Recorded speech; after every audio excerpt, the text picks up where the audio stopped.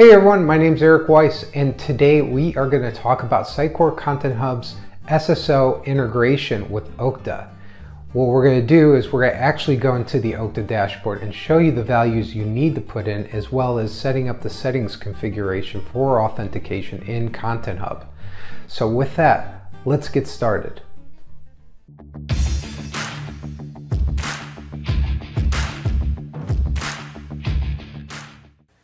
Hey everyone, we're going to talk about connecting SSO to Content Hub from Okta. So one of the first things you want to do is you want to get here in the manage screen and we want to go to our settings.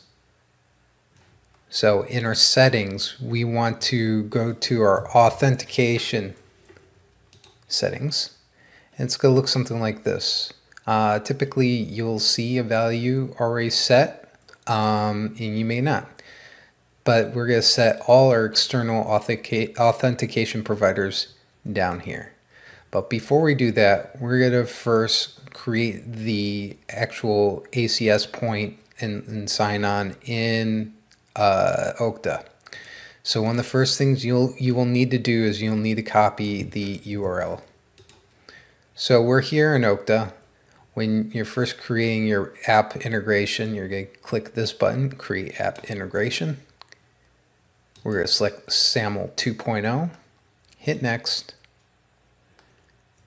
We'll put in our name.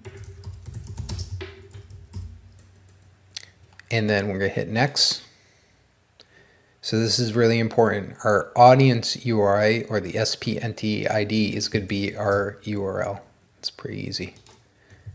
The single sign-on URL is going to be your base URL, auth services slash ACS. So that's the point where your single sign-in is going to resolve your credentials. I want to add a override. So for email, so we're going to do email address. And sometimes you want to do this or you may not, but I'm just showing you what you want to do because depending on what your requirements are. You could add attribute statements. Uh, next, we'll go ahead. And for now, we'll just pick this because this is a demo. Okay, so now you have your metadata URL. A couple things to make sure. More importantly, we have to make sure our people are assigned to the application.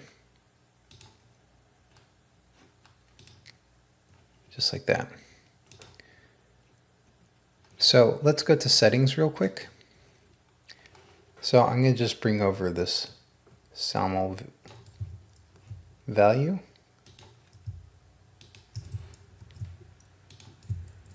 Like that. I paste in so we have our key. So it's going to be SAML, right, SAML. We need the metadata location file. So you copy right here.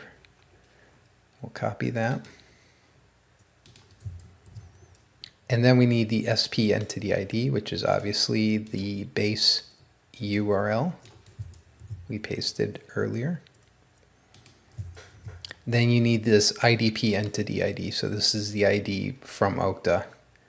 So one of the quick ways of doing that is go ahead and pull this value, the entity ID.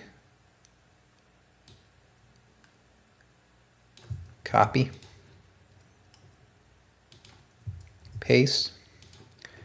Now your provider name, it could be anything, but it has to be unique. In this case, we're going to just call it SAML. Module path is auth services right? Authentication mode. This is basically going to be either passive or active. Active will overwrite the default username and password that Content Hub has out of the box, or you can make a passive where it puts a button below that username and password. And then if you remember that attribute I did, uh, now what these email claim type and user claim type is is basically an overwrite. You do, can use a global claim type if it's going to be consistent. Um, I typically do this because possibly if you have multiple SSOs down the road, in this case, uh, just to show you just through demonstration, you can override it if need be. Since I'm going to use email address for both the username and email, obviously. And lastly, we'll keep this, it is enabled true. So you could turn it on and off here if you don't want it to pair. So we're pretty much done. So let's save it.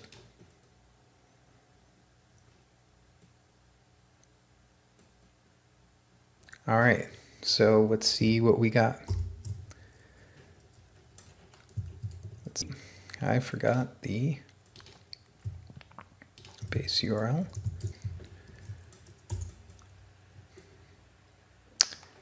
As you see, here's the default username and password. You have the sign in button that will take you in the Content Hub through the default out of the box credentials. And then here is your SAML login. So let's click through. And we can see it's going to Okta, Okta and then we will use our credentials.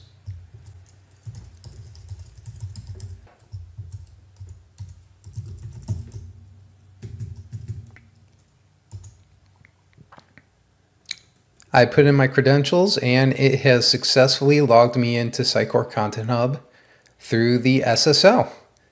Um, and now you are successfully configured through Okta to your Content Hub instance. Hey everyone, thank you for watching my video. Don't forget to like and subscribe and hit that notification bell. If there's content that you want to see me cover about Content Hub or any other Sitecore product, please put your comments down below. Till next time.